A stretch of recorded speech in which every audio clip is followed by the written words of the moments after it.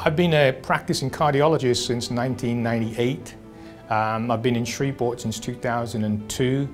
Um, I feel that I've been in practice so much longer since I had to repeat so much of my training. So I think I've, you know, well trained since I got the clinical training in England and then the more uh, extensive technological training as it's based mainly in the United States. So I think I've got the best of all worlds.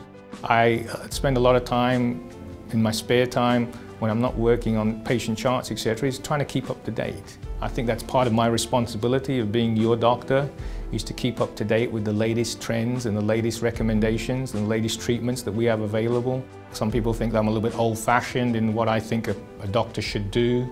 Uh, I like to talk to my patients.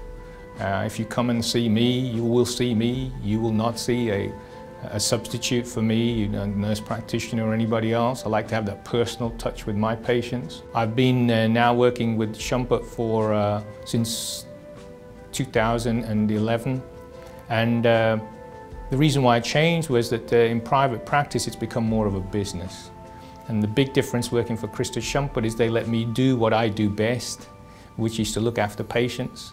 One of the things that attracted me to cardiology, it was always challenging, it was always changing, it was never the same.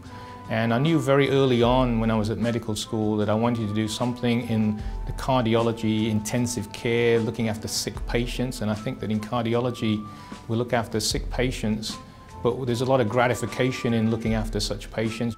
When we started looking at private practice opportunities, uh, you know, I really didn't know where Shreveport was before I started looking, um, but uh, when we looked around, it, the opportunity that was available to me at the time was the best one to come and do clinical medicine and not worry about running a business or anything like that. And uh, they allowed me to just concentrate on what I do best, which is looking after patients.